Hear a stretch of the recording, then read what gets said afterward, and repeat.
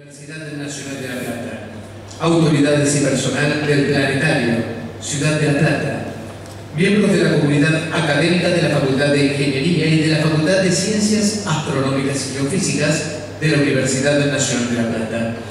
Acompañan al señor Bolden, personal de la Embajada de los Estados Unidos de América en Argentina, invitados especiales y a todos aquellos que nos acompañan en directo vía Internet a través del portal de la Universidad Nacional de La Plata.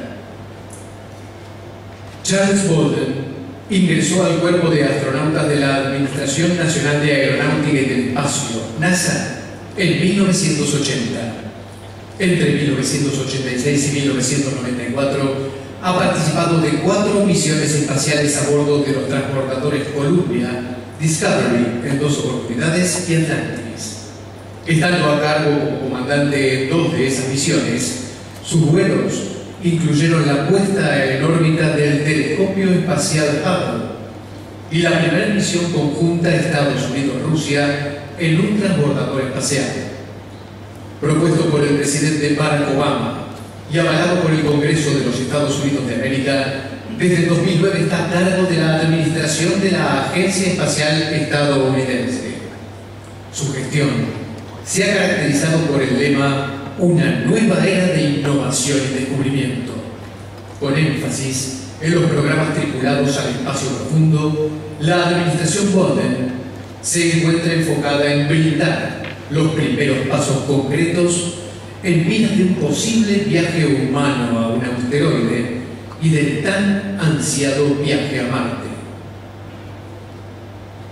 Hace 25 años iniciamos una nueva etapa en nuestro continuo e inexorable camino hacia las estrellas.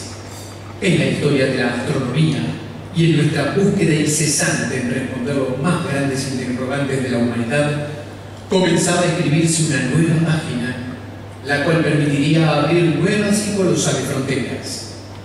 El 25 de abril de 1990, desde el Centro Espacial Kennedy, la misión STS-31 Discovery iniciaba su ascenso y con ella una de las joyas tecnológicas más increíbles que se hayan podido construir, el telescopio espacial Hubble. A 25 años de aquella histórica jornada, los invitamos a compartir esos momentos inolvidables.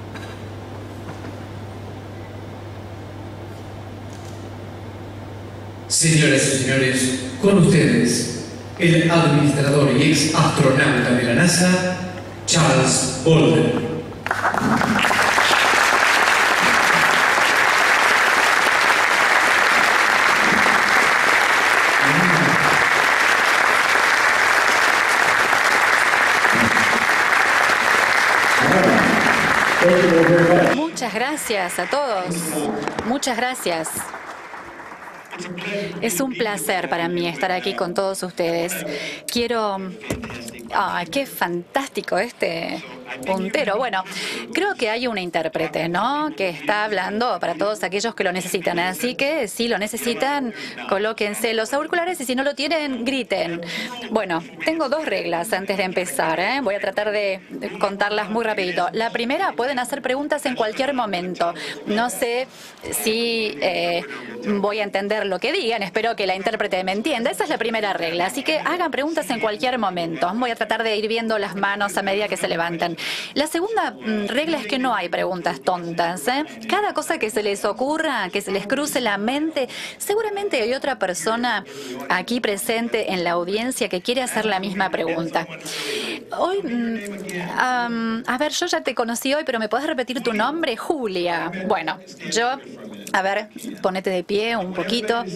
Quiero que todos la, vean a Julia. ¿eh? A ver, tal vez lo que están atrás de todo no la pueden ver. Pero todo lo que yo voy a decir hoy, la intención de todo esto es para Julia, porque ella es la que va a tener que hacer todas las cosas que yo les voy a contar hoy, cuando hablemos del futuro de NASA. Julia tiene nueve años, así que estamos hablando de las cosas que Julia va a tener que hacer en el futuro. Si alguno Ah, mm, dice, ay, no, yo cuando se haga esto, yo ya voy a estar muerto. No se preocupen, Julia lo va a hacer por ustedes. Quiero hablar un poquito de quiénes somos.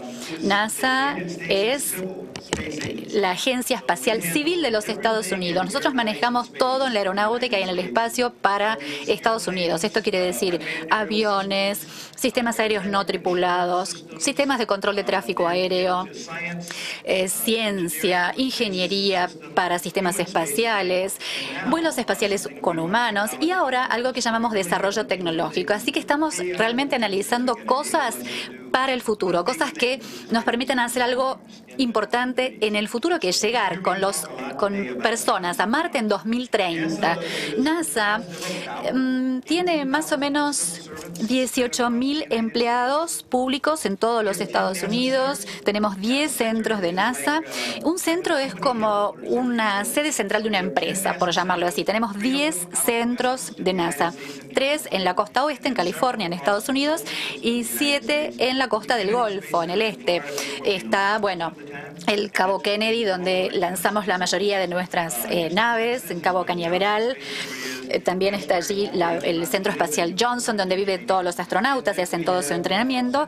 Y después tenemos centros como Marshall y Hampsville en Alabama que desarrollan cohetes, Stennis, donde testeamos los cohetes. Y yo, de hecho, vengo de Washington, D.C., que es donde está la sede central de NASA. Así que 10 centros en todo el país. También tenemos miles, decenas de miles de eh, contratos con empresas de los Estados Unidos que nos apoyan. Así que cuando hablamos de la familia de NASA, hablamos de 18.000 empleados más 40 o 50.000 contratistas. Estamos decididos en cuatro áreas de misiones y de esto les voy a hablar hoy. La primera está dedicada al vuelo con humanos al espacio, que son misiones de exploración e investigación. Nuestro legado es los vuelos humanos. Entonces ustedes van a ver que muchas de las cosas que yo les voy a mostrar hoy tienen que ver con los humanos. Mm, hoy no hacemos nada que no sea colaboración entre robots o sistemas robóticos y los humanos.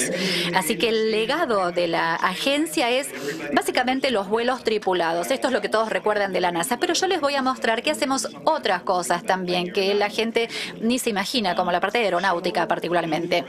El transbordador voló durante 30 años increíbles. En julio retiramos el programa del transbordador mm, y empezamos un nuevo curso. Ahora mm, pasamos al acceso y otorgamos el acceso a la órbita menor a los vuelos comerciales.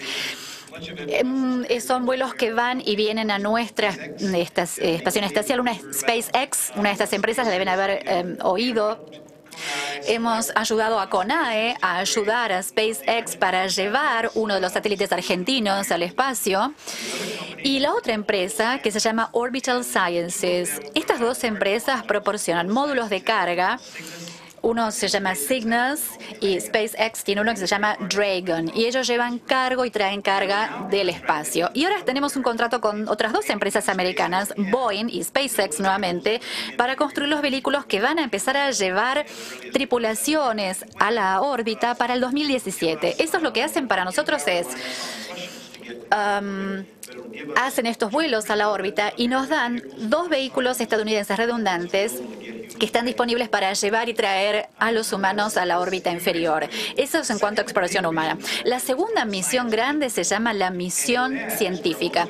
Ahí es donde la mayoría de nuestra interacción con Argentina se produce, porque una de las áreas en las que trabajamos con ustedes muchísimo es en el área de ciencia aérea, los efectos del cambio climático, vemos los efectos del ciclo del agua aquí en el planeta, así que mucho de nuestro trabajo con CONAE es actividades bilaterales. Por ejemplo, el Aquarius, el SAC-D, que es el satélite que lanzamos y mm, participamos también en 2011. Fue increíblemente exitoso este satélite y hoy mapea los océanos del mundo y la salinidad a un nivel muy chiquitito. Es una misión increíblemente exitosa para nosotros y para ustedes, así que estamos ansiosos de tener también misiones futuras similares.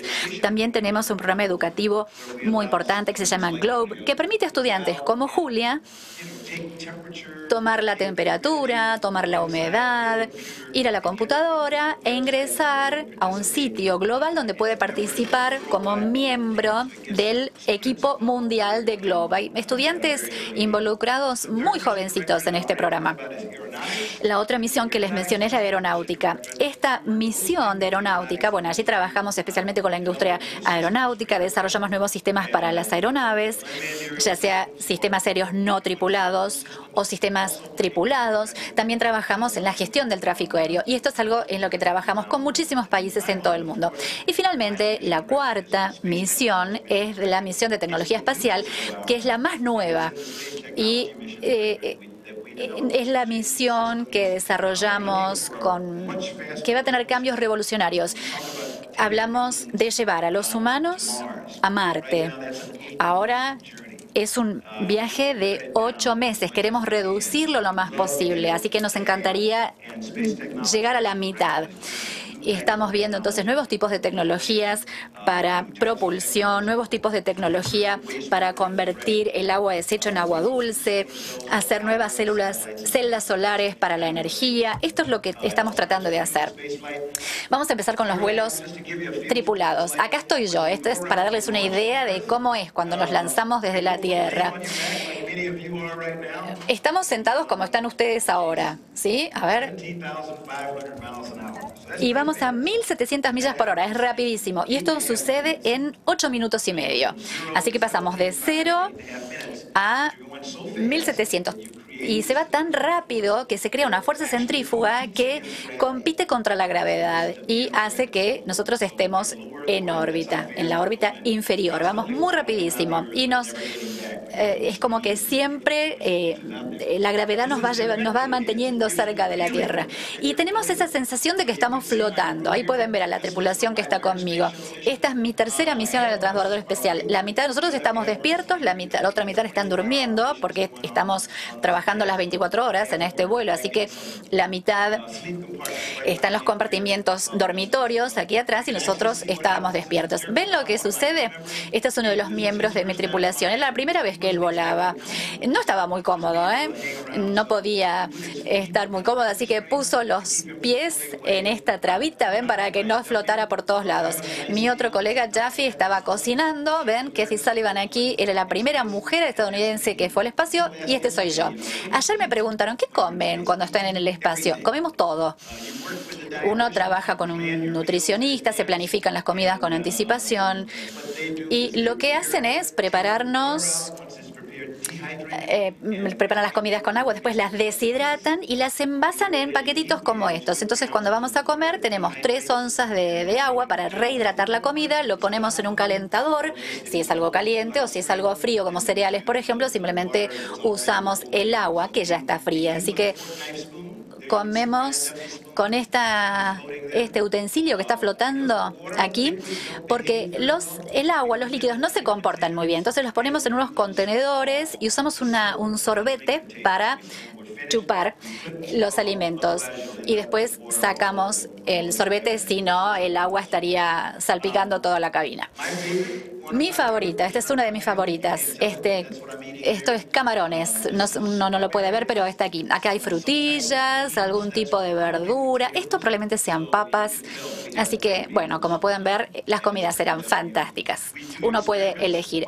Hicimos experimentos también cuando estábamos en órbita. En este caso en particular, acá yo estoy trabajando con el doctor Franklin Díaz. Algunos que estuvieron conmigo antes de empezar, uno de los profesores es amigo de este señor, de Franklin Díaz. Se conocieron hace unos años y hay una placa que el doctor Franklin Díaz les entregó. Pero Franklin es una persona que nació en San José, Costa Rica, se crió allí y cuando era chico decidió que quería ser astronauta. Y le dijo a su papá, necesito ir a los Estados Unidos. Y el papá le dijo, ¿para qué? Y dijo, porque yo voy a ser astronauta. Un chico de siete años y el papá le dijo, olvídate. Volve a la escuela, termina la escuela y después volvemos a hablar cuando termines la secundaria. Diez años después, cuando tenía 17 años, Franklin volvió a hablarle al padre y le dijo, ya es la hora. Y el papá le dijo, ¿es, la hora para qué? ¿Escuchás, Julia? ¿Mm? A ver, ¿tiene auriculares Julia? Muy bien. Porque puede ser vos esta. Así que Franklin dijo, es hora de ir a Estados Unidos porque quiero ser astronauta. Y el papá trató de convencerlo de no hacerlo, de que no podía. Entonces abandonó. El papá era ingeniero, conocía a algunos en Estados Unidos, entonces llamó a algunas personas en Connecticut y le dijeron, y los presentó. Este es mi hijo Franklin, lo voy a enviar a los Estados Unidos, va a llegar y quiero que ustedes lo reciban, que lo inscriban en la universidad. Entonces fue a Estados Unidos con 50 dólares en efectivo, un boleto de ida a Connecticut y una carta de su padre que decía, este es el hijo mío que yo les conté. Albérguenlo durante todo el tiempo que quieran y cuando se cansen, envíenmelo de vuelta a Costa Rica. Franklin no hablaba inglés. Empezó en la universidad en Connecticut, pero al primer año abandonó porque le costaba mucho el idioma, no quería que nadie lo ayudara, se enseñó a sí mismo el inglés y después se recibió con honores en Connecticut, fue al MIT en Massachusetts, al Instituto de Tecnología, y, y consiguió un PhD en física plasmática. Y ahora es uno de los físicos más importantes del mundo en esta especialidad.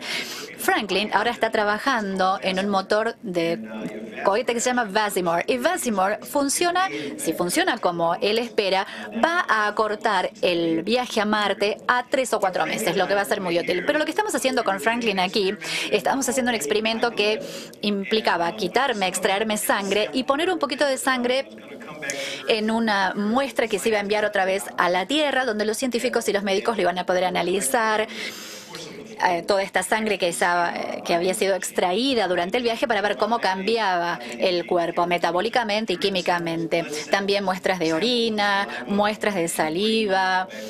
Todo eso se envió a la Tierra y los científicos eh, pueden ver cómo va cambiando el cuerpo, cómo se pierde masa ósea, masa muscular, cómo va cambiando el cuerpo. Estas son algunas de las investigaciones que hacemos. Muchos preguntan, a ver, todavía no se levantó ninguna mano, así que no, mm, pero normalmente una de las preguntas que me hacen es ¿cómo van al baño en el espacio? Este es el baño del espacio. Parece parecido al baño que tenemos en casa, ¿no? Este es el asiento del inodoro. Nosotros, los hombres no tenemos que sentarnos, ¿no? Pero recomendamos que todos se sienten en el asiento del inodoro. Acá hay dos manijas. Uno levanta esto, la rota la apoya en el muslo para que uno pueda quedarse sentadito, leer una revista, el periódico, hacer lo que uno quiera hacer. Y acá hay una especie de manijita que cuando uno la enciende crea una especie de ventilador que hace succión. Entonces la materia fecal va al tanque y se queda allí hasta que todo esto se envía a casa y se quema durante el reingreso a la atmósfera. En el transbordador espacial estaba ahí hasta que la tripulación de limpieza traía una bolsa enorme y limpiaba todo. O sea, antes sí todo esto caía, ahora ya no. Esta es una, una manguera para recolectar orina. Cada astronauta tiene como un embudito, entonces uno puede mover esto. La orina baja por esta manguera, va al recipiente de agua de desecho. Como cualquier fluido, uno eh, si lo envía fuera de la nave, se, se congela inmediatamente, instantáneamente. Así que así es como uno va al baño en el espacio. Bastante cómodo y funciona muy bien. Yo hablé sobre el hecho de que ahora eh, otorgamos el acceso a la órbita inferior a la industria comercial. NASA comenzó a desarrollar dos vehículos. Uno es el vehículo de lanzamiento, que nosotros llamamos el sistema de lanzamiento SLS. Ahora está en construcción. Ah, hay muchos lugares en los Estados Unidos se está trabajando. Inicialmente va a usar el transbordador inicial. Este es una, una especie de modificación del inicial, pero tiene un segmento más. Ahora tiene un segmento más. Son cinco. Antes teníamos cuatro. Y arriba tenemos el módulo de la tripulación que se llama el Ryan. Aquí esto es un dibujo del Ryan, ¿no? Una especie de maqueta. Es el primer vehículo que fue construido para llevar a los humanos más allá de la órbita inferior en más de 40 años. Hicimos el primer vuelo el 5 de diciembre pasado, eh, que llevó cruzó la órbita 3.700 millas, dos órbitas y volvió y reingresó con éxito y aterrizó en un, con paracaídas en el Océano Pacífico y ahora estamos viendo a ver qué vamos a aprender de este primer vuelo que nos va a ayudar a medida que desarrollemos la versión operacional del vehículo. Yo les mostré, se estarán preguntando, ¿para qué tenemos un asteroide acá en esta imagen del Ryan y del SLS? Bueno, porque uno de nuestros Ryans, uno de los primeros vuelos del Ryan con humanos, va a llevar humanos a una órbita de la Luna donde nosotros esperamos en ese momento haber llegado a un pequeño asteroide o una roca de un asteroide y transportarlo desde la órbita normal del Sol a una órbita alrededor de la Luna. Es medio raro, pero pensamos que lo podemos hacer. Se llama una misión de redirección de asteroide. Tomamos un asteroide o una parte de un asteroide con una, un gran vehículo robótico y con propulsión electrónica solar lo empujamos durante un año y medio, dos años y hacemos que cambie el curso alrededor de del Sol para que se acerque más a la Luna y esté en la órbita lunar. Y ahí es donde este Ryan, con una tripulación de astronautas, va a hacer el rendezvous con el asteroide para poder hacer estos estudios. Esta es una imagen de uno de los asteroides más grandes que conocemos, Vesta.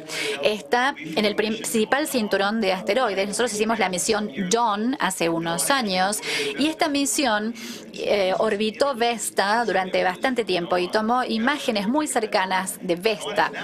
John ahora está pasando al asteroide más grande que conocemos, que se llama Sirius, y que es más o menos, tiene eh, está a unos 3.500 kilómetros, no, perdón, 35.000 kilómetros, y está yendo muy lento y debería llegar para esta primavera más o menos. Así que vamos a tener imágenes similares a esta de Sirius, que es el asteroide más grande. ¿Por qué estudiamos los asteroides? Dicen muchos. Bueno, porque los asteroides y los cometas y ese tipo de cosas son como los ladrillos de nuestro sistema solar. Hay remanentes de planetas que se han formado, como la Tierra, como Marte, Venus y otros. Entonces podemos estudiar los asteroides y los cometas y aprender un poquito más sobre cómo nuestro sistema solar se formó. En nuestra misión científica nos estamos focalizando en la astrofísica y hacen dos preguntas todo el tiempo. ¿Cómo llegamos acá? Es decir, ¿cómo se formó el sistema solar? ¿Cómo se formaron las estrellas? Este tipo de cosas. Y la segunda pregunta que se hacen es, ¿estamos solos? ¿Hay vida en otro lugar en el universo? Entonces, muchas veces preguntan, ¿por qué eligieron Marte? ¿Por qué quieren ir a Marte? Bueno, una razón sencilla es el hecho de que Marte es muy parecido a la Tierra. Una vez en su historia, hace millones y millones de años, los científicos planetarios creían que Marte era muy fértil como la Tierra, que era un planeta cálido, templado, que tenía estaciones, etcétera. Y ahora vemos, tenemos evidencia, sabemos de que Marte tiene mucha agua, la mayoría ahora está congelada en la tundra, pero vemos evidencia de que en algún momento, cuando Marte era un poquito más cálido, tenía actividad, porque lo podemos ver en las arenas en Marte.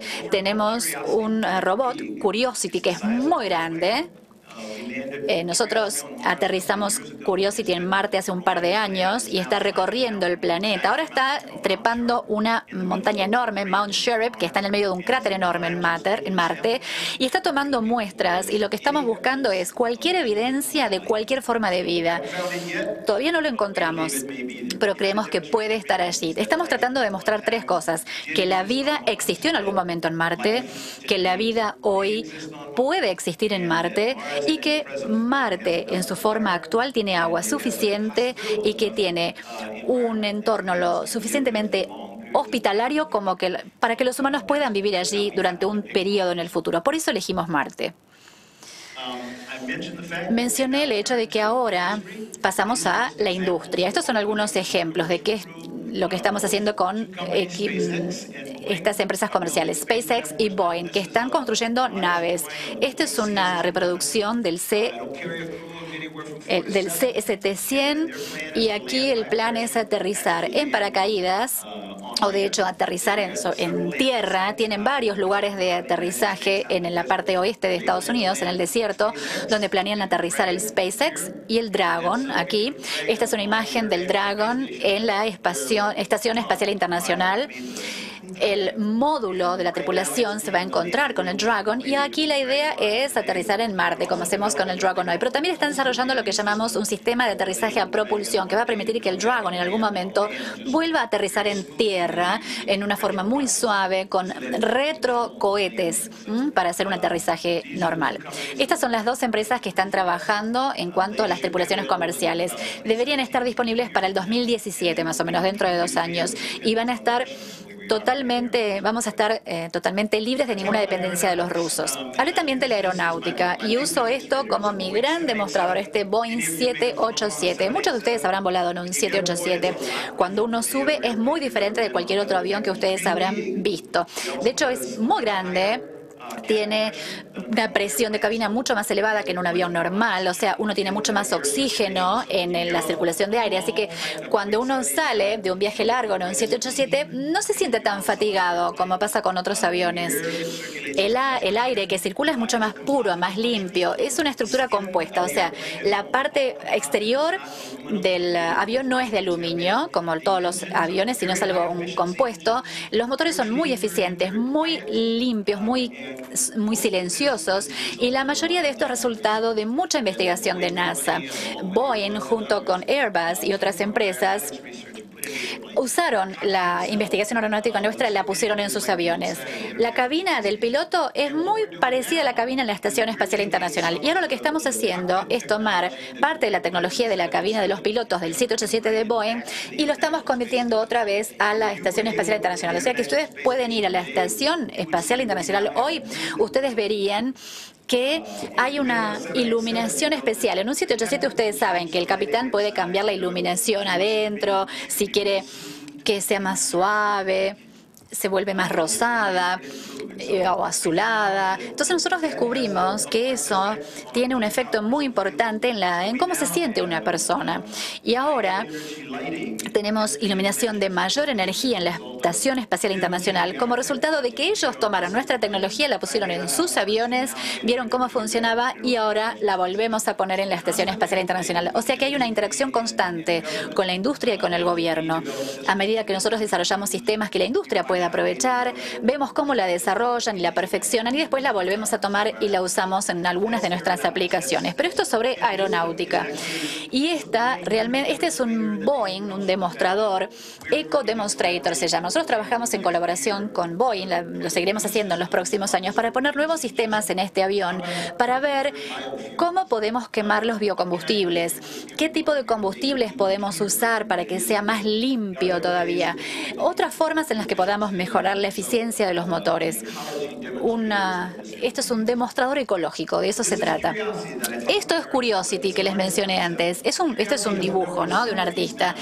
Curiosity ya se sacó muchas selfies. ¿eh? Ha estado en Marte desde hace más de dos años y como muchos de ustedes, Curiosity tiene cámaras por todos lados, así que se saca selfies todo el tiempo. Y después nosotros creamos los composites de todo esto. De hecho, hay fotos de Curiosity que se ven como esta. ¿no? Bueno, en este caso este es un dibujo. Curiosity es una bestia muy interesante. De hecho, esta es una estación climatológica. Todo este mástil, estos son anemómetros que miden la dirección del viento y la velocidad. La estación climatológica fue construida por los españoles en, cerca de Madrid en el Centro de Astrobiología para España. Y hasta que Curiosity aterrizó en Marte, un solo país había aterrizado exitosamente en Marte, que fue Estados Unidos. Como resultado de tener Curiosity y todas nuestras asociaciones, ahora hay cinco países que físicamente tienen algo operando en la superficie de Marte. Y hay unas 15 naciones que colaboran en esto porque muchos de los principales investigadores que están viendo todas las investigaciones científicas que tienen que ver con Curiosity son de países fuera de Estados Unidos. O sea que la mayor parte de nuestro trabajo es una colaboración internacional. Y yo estoy aquí en Argentina esta semana para resaltar la fuerte colaboración que tienen Estados Unidos y Argentina en ciencia, en exploración espacial y en desarrollo tecnológico. Para venir también a hablar un poquito con gente como ustedes sobre esta colaboración que nos dio el Aquarius, el SAC-D y algunas de las colaboraciones que vamos a hacer con otros satélites que ustedes están construyendo ahora hay un radar sintético que es muy bueno para nuestra suite de satélites de observación de la Tierra. Así que, eh, repito, simplemente es para asegurarnos de que siga esta colaboración entre nuestros dos países lo más fuerte posible en ciencia y en exploración espacial. Así que este es Curiosity. Esta es mi imagen favorita. Esto fue tomado en mi segundo vuelo, cuando desplegamos el telescopio, el Hubble. No sé, ¿ustedes se acuerdan de la imagen del Hubble flotando, alejándose del transbordador después de desplegarlo? Esa era mi tripulación hace mucho tiempo, en 1990, cuando desplegamos el telescopio espacial Hubble. Lo levantamos con un brazo mecánico y lo soltamos del transbordador. Si uno mirara hacia abajo en ese momento, uno podía ver nuestro país, porque cuando lanzamos, soltamos el Hubble, estábamos saliendo del Océano Pacífico y estamos cruzando por encima de donde está Argentina, Perú y no me acuerdo qué otro país. Estábamos justo cruzando la frontera, así que el Hubble flotó, se alejó de nosotros y como estaba yendo a la misma velocidad que nosotros, a 18.000 millas por hora, a Hubble le llevó 10 minutos cruzar todo Sudamérica. Y bueno, rodea eh, la Tierra, como hacemos nosotros, una vez cada hora y media. O sea que es una órbita de la Tierra cada hora y media.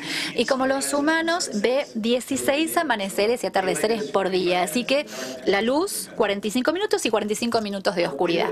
Pero esto es una de mis partes más, más favoritas del mundo. Esto es el espacio de día, ¿no? Ven bien oscuro porque el sol es tan poderoso que satura la capacidad de los ojos de discernir las estrellas y la luz. Así que durante estos 45 minutos de luz no vemos estrellas. Esta es la atmósfera, esa línea azul muy delgadita.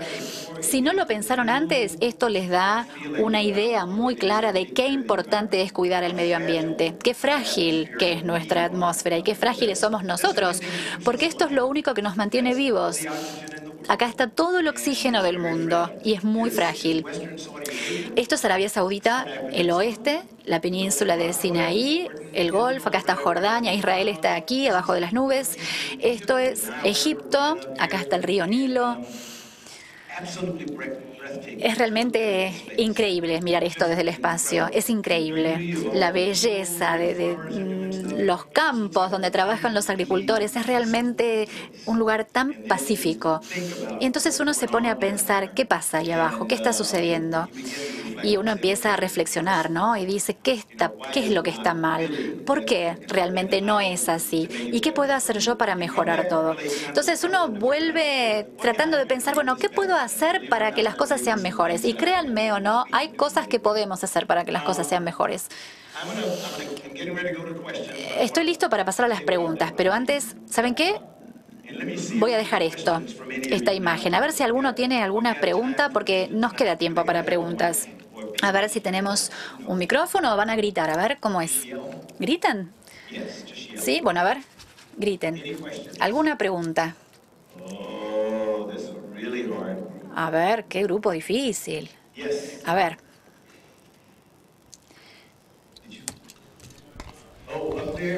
Ahí arriba, a ver. Eh, ¿Cuál es el objetivo de colocar un asteroide en la órbita de la Luna? ¿Por qué? ¿Para qué? Bueno, estamos tratando de mover al asteroide, al asteroide por muchas razones. Primero, el presidente Obama nos dijo en 2010, hace un tiempo, que quería que la NASA pusiera astronautas en un asteroide para el 2025. Hay varias opciones, ¿no? Descender astronautas hacia el principal cinturón de asteroides, eso es más lejos que Marte, así que eso es muy difícil. Entonces dijimos, bueno, ¿qué pasa si los asteroides los que pasan cerca, bueno, todo lo que está eh, alrededor de la Luna, si podemos encontrar una forma de hacer un rendezvous con esos asteroides en forma robótica y hacer que salgan de su ruta, de su trayectoria, la gravedad de la Luna lo va a traer. Y demostramos que de hecho uno puede perturbar a un asteroide. Entonces, más adelante, si alguien quiere o tiene que salvar al planeta, van a tener la información que nosotros recogimos en esta misión de redireccionamiento de asteroides para ver cómo se eh, desvía un asteroide. Así que esa es una de las razones por el trabajo que estamos haciendo. Otra es para permitirnos tener una oportunidad de desarrollar tecnologías y procedimientos que van a permitir que la gente trabaje con los asteroides. Hay muchas empresas privadas, muchos empresarios de la minería que hablan de minería en la Luna. La tecnología que desarrollamos y los procedimientos para operar alrededor de un asteroide, que es un entorno de cero gravedad o de baja gravedad, va a permitir que más adelante si hay alguna actividad que se pueda hacer allí, bueno, estamos sentando las bases para eso.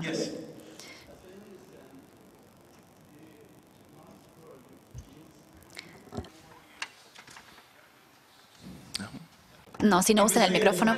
A ver, su pregunta era ¿qué entiende que Marte, nuestro esfuerzo de poner hombres en Marte, necesita 15 años más para tener éxito. O sea, tal vez se necesita más tiempo para realmente ser exitosos.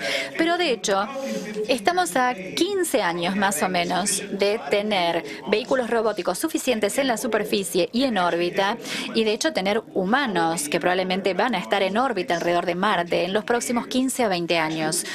De hecho, poner gente en la superficie, eso es otro obstáculo. Pero en lo que estamos trabajando ahora es pensar qué tipo de arquitectura deberíamos tener para un sistema de aterrizaje en Marte. Nosotros decidimos que no, no se va a poder vivir en la superficie. Marte sigue siendo un entorno de muy alta radiación, así que no vamos a poder ir caminando como hacemos aquí en la Tierra. Los humanos van a tener que volver a las cavernas, ¿no? Vamos a tener que estar en forma subterránea. Así que es muy importante el desarrollo de los robots que estamos haciendo hoy, porque no queremos que la gente esté en riesgo para construir los hábitats. Estamos usando eh, o vamos a usar ejércitos de robots que van a ir a Marte para construir el hábitat, para que después pueda ir la gente a vivir allí. Es, es un proceso paso a paso, por supuesto, y tenemos un plan que es una evolución, es algo gradual para poner físicamente a los hombres en Marte. Pero tenés razón, dentro de 15 años los hombres deberían estar en el entorno de Marte.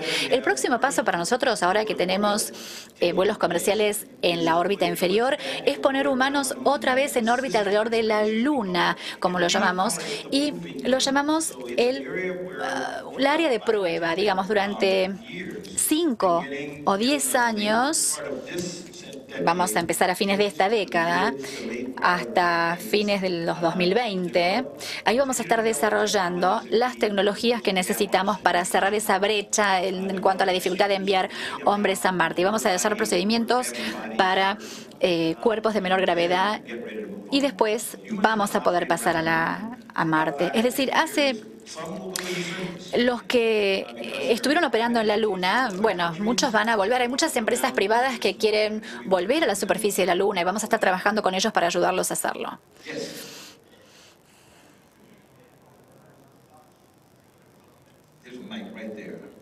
El micrófono. Usted habló de las asociaciones internacionales con otras agencias espaciales en el mundo, pero me gustaría saber si es posible ahora asociarse con empresas privadas en Estados Unidos considerando el marco regulatorio actual. Y si no es así, yo sé que esta, regulación es muy restrictiva. ¿Qué puede hacer NASA para abordar este problema? ¿Y cómo, podemos mejorar? A ver, yo voy a tratar de responder esto, pero traje a mi experto en ITAR y todas estas cosas, el señor Mike O'Brien, que maneja muy bien este tema. Obi lo llamamos, como Obi-Wan Kenobi. él es piloto como yo, pero uh, Mike es de la Oficina de Relaciones Internacionales y Cherie también está a cargo de nosotros en este viaje. Ella se especializa en países latinoamericanos y sudamericanos. Ellos dedican mucho tiempo a trabajar con el Departamento de Estado de los Estados Unidos y lo que llamamos el proceso interagencia en Estados Unidos para asegurarnos de no violar ninguna de esas normas. Pero hay formas para colaborar tanto con la industria estadounidense como con socios internacionales. Hay algunas cosas que no podemos ceder, ¿no? No podemos ceder tecnología en cuanto a los vehículos de lanzamiento y ese tipo de cosas. No, pero yo estoy hablando, usted habla específicamente, por ejemplo, de la minería en asteroides. Hay empresas en Estados Unidos que, por ejemplo, si esa empresa quiere lanzar los vehículos usando un vehículo de lanzamiento argentino, ellos pueden tener algún problema. No, para nada. Lo bueno de lo que hace NASA es que todo lo que hacemos va al dominio público. O sea, una de las cosas eh, en las que estamos trabajando en Argentina ahora, en los satélites SAOCOMSAR, es, nosotros somos socios, pero queremos asegurarnos de que si Argentina adopta nuestras políticas en cuanto a acceso abierto a los datos, o sea, si nosotros nos vamos a asociar con Argentina en un radar de banda L, por ejemplo, que va a responder muchas de las preguntas sobre el medio ambiente, nosotros realmente queremos que esa información sea abierta, que sea del dominio público, que todos puedan acceder a eso. Y este es el caso de la mayoría de las cosas que hacemos. Nosotros hacemos muy poquito trabajo que sea clasificado o que no sea de dominio público. No sé, espero que esto haya respondido a su pregunta. La verdad que no hacemos casi nada, de hecho, que no eh, hagamos con una sociedad internacional. Nosotros encontramos formas de firmar, por ejemplo, un acuerdo marco que voy a firmar esta tarde en la CONAE eh, con el ministerio al cual reportan, ¿no? Que es el Ministerio de Planificación, etcétera, etcétera, etcétera. Bueno, pero vamos a firmar un acuerdo oficial que esencialmente va a ser un tratado entre NASA, Estados Unidos y Argentina a través de CONAE, que dice que nosotros vamos a colaborar en un acuerdo paraguas, ¿no? Vamos a colaborar en futuros trabajos juntos en ciencias de la Tierra, estos radares de apertura sintética, etcétera. Y de hecho, esto es en heliofísica, el estudio del Sol. Es muy mm, diferente porque va a expandir el tipo de trabajo que hacemos juntos. Así que nos vamos a asociar eh, con Argentina para el estudio del eh, climatológico espacial. Otra pregunta. El micrófono, a ver. Si no, repito la pregunta.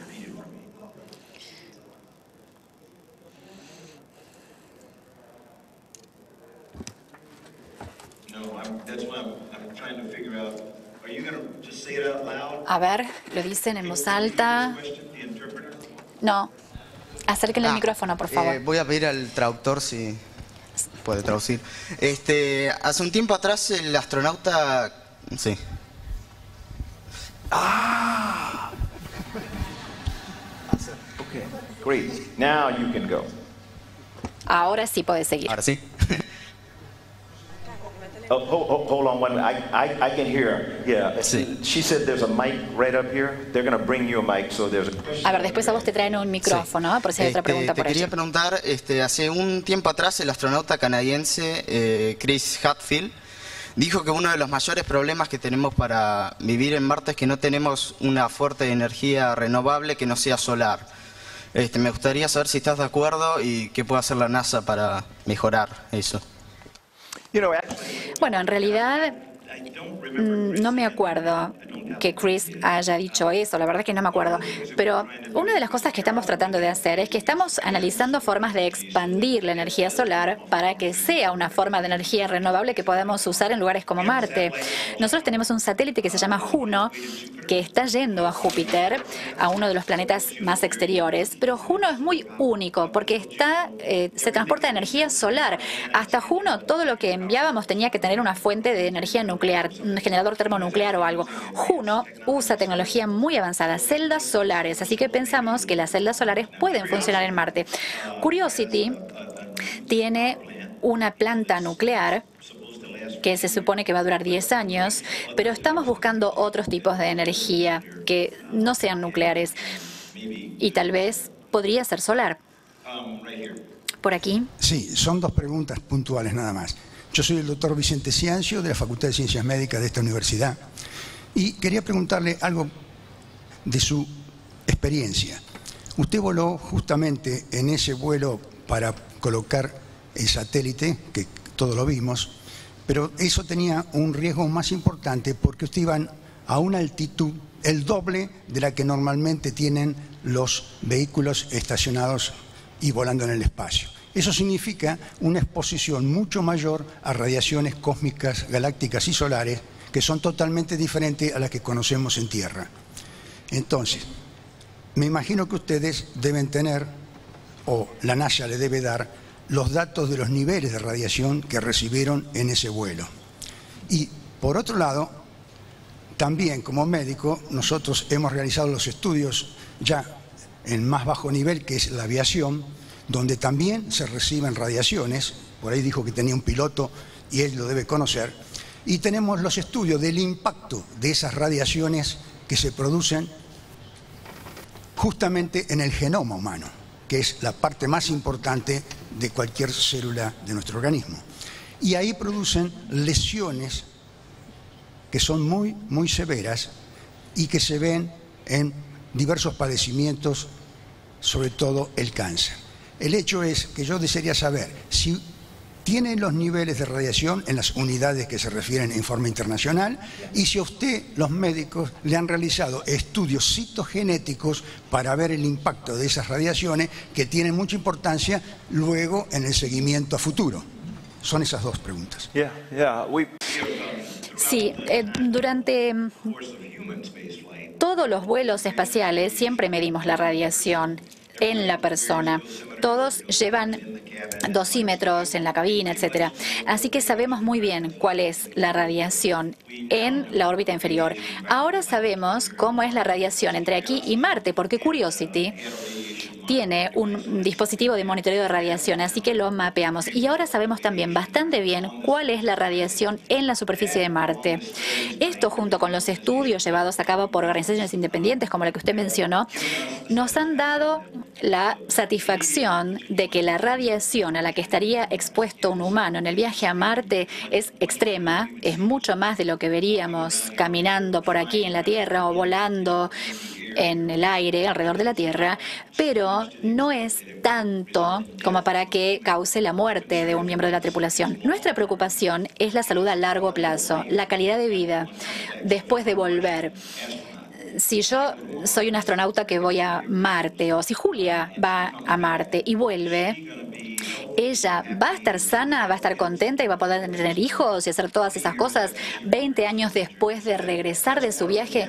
Esa es una de las preguntas médicas que todavía estamos tratando de responder. Así que recogemos datos de los astronautas en la Estación Espacial Internacional, recogemos datos de un año de Scott Kelly, un cosmonauta ruso de Mikhail Kornikov, que va a a llegar a fines de marzo, así que constantemente estamos recogiendo datos. La preocupación para nosotros ahora ya no es la vida de un astronauta cuando va y viene, sino la calidad de vida del astronauta cuando regrese.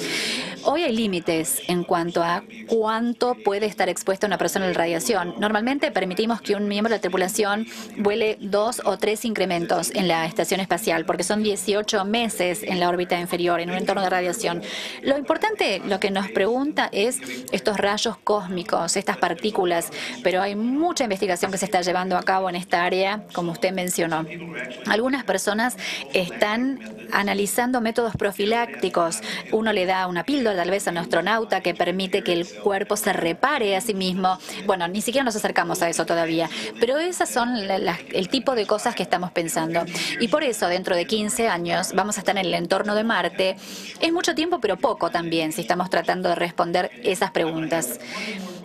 Una pregunta más y después me van a hacer ir, así que, eh, a ver, vamos a ver la pregunta de ella. Y después vuelvo a usted al terminar. Hello. Hola, mi inquietud se trata de si hay algún tipo de legislación en cuanto a las empresas comerciales que vayan a la Luna, a los asteroides, porque a veces es muy peligroso. Sí, es interesante la pregunta para aquellos de ustedes que no la entendieron. Ella preguntó sobre si hay legislación sobre empresas, las empresas comerciales que van a los asteroides o la Luna o a hacer otras cosas. Es una, un área emergente del derecho. Hay es un área nueva que se llama Derecho Espacial, aunque no lo crean. Naciones Unidas está trabajando en los usos pacíficos del espacio exterior, así que firmamos convenciones, convenios que dicen que vamos a hacer todo lo posible que evite el uso no pacífico en, la, en el espacio, de la minería, por ejemplo. Los derechos de propiedad también.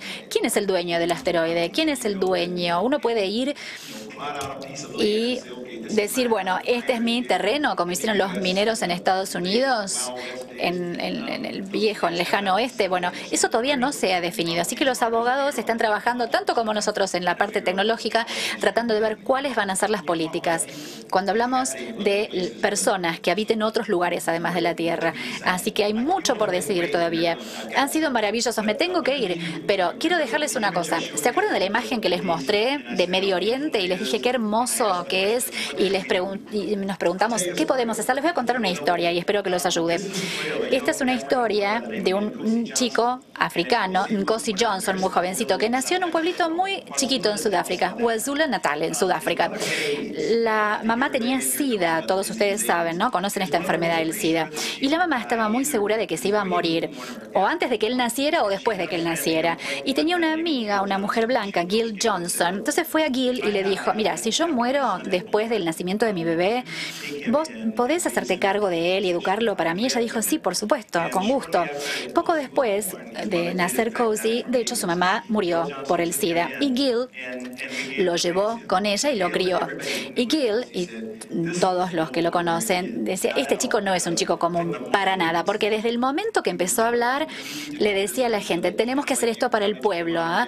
como cuando Julio, vos le decís a tu mamá, tenemos que hacer esto, tenemos que hacer lo otro. Si podemos mejorar este lugar, tenemos que hacer esto. Así fue como él creció, Cozy. Todos decían que era anormal en ese sentido. Finalmente, la mamá adoptiva recorrió toda África, recorrieron el mundo, de hecho, haciendo cruzadas en contra del SIDA, buscando soluciones para el SIDA, también tratando de, ver cómo ayudar a la gente para vivir mejor.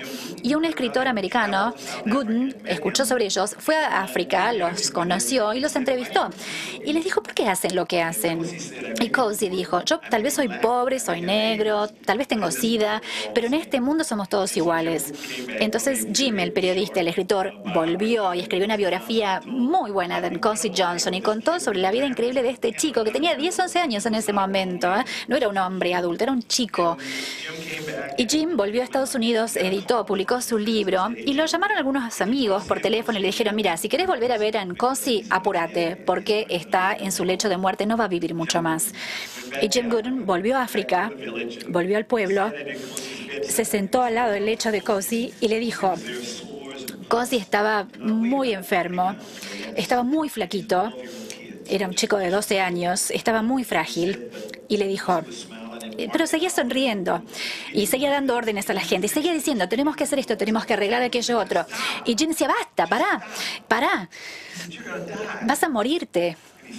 Y dijo, y Cosi lo miró y le dijo con una sonrisa, sí, vos también podés morir hoy. Y Cosi miró a todos con una sonrisa, dijo, sí. No entienden, no entienden.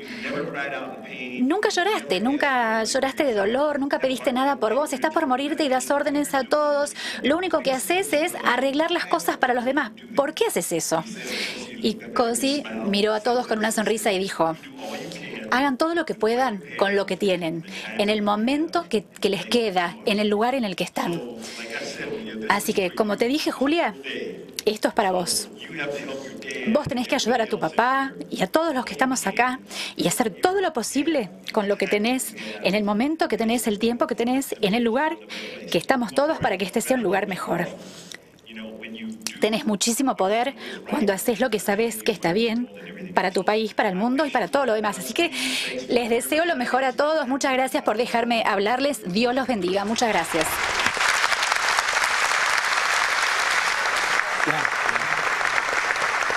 Le agradecemos al señor Charles Bolden por esta conferencia y a continuación será entrega de un presente. Se trata de una bandeja con la siguiente leyenda. Al administrador de la NASA, señor Charles Bolden, en agradecimiento por su visita a la Universidad Nacional de La Plata, La Plata, 19 de febrero de 2015. Entregan el presente el señor presidente de la Universidad Nacional de La Plata, licenciado Raúl Perdomo, la señora decana de la Facultad de Ciencias Astronómicas y Geofísicas, doctora Alicia Cruzado, el señor decano de la Facultad de Ingeniería, doctor Marcos Actis, y los responsables del Planetario Ciudad de La Plata, licenciado Diego Bagú y técnico Martín Schwartz.